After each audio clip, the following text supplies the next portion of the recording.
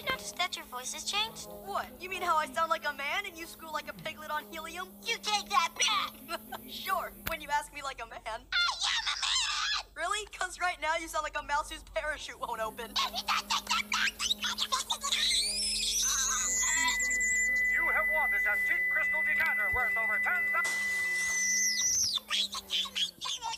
Wasn't I tell Okay. Okay.